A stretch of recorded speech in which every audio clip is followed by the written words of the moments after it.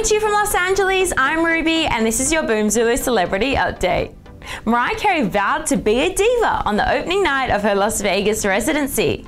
The star took to the stage at Caesars Palace Las Vegas Hotel and Casino on Wednesday to kick off the first night of her string of concert dates in the city.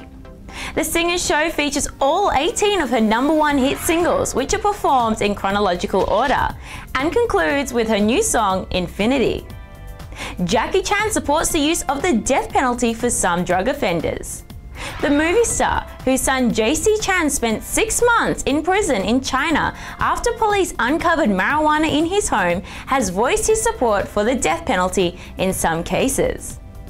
Hugh Jackman says skin cancer is not as scary as he initially feared. The actor, who has had three surgeries on his nose since 2013, insists that he is not worried about having to manage the condition for the rest of his life.